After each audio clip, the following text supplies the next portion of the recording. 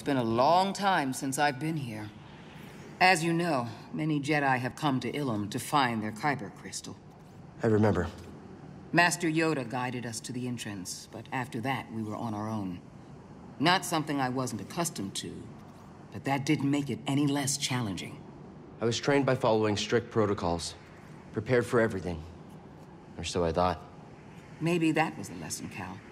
You can't know everything. You can only trust that you are able to handle whatever you face.